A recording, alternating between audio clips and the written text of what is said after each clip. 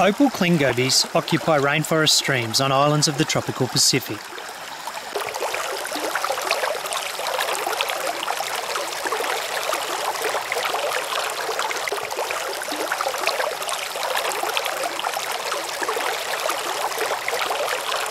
Conditions are right, a first step is for the male to put on his iridescent blue attire. Step two is to hit the dance floor and go crazy. At a length of just 4 centimetres, he would be a tasty morsel for would be predators. However, this opal cling goby has climbed to a small rocky pool that is predator free.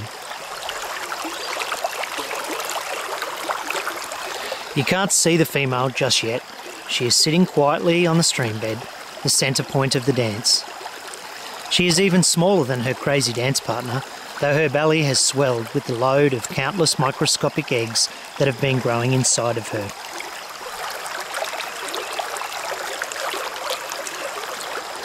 When she is ready, she moves from the early courtship dance floor to the more exclusive narrow valley deck. He excitedly comes down to land a kiss. As the couple approach the bedroom, they dance together closely. Arriving at the entrance of the cave, draped by fine tree roots, where their little embryos will be laid.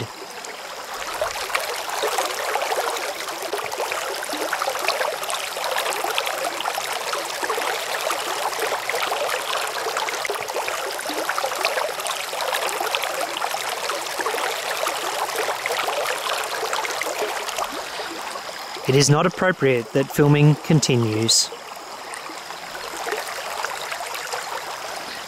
What a day it has been witnessing the electrifying courtship dance of the opal cling goby.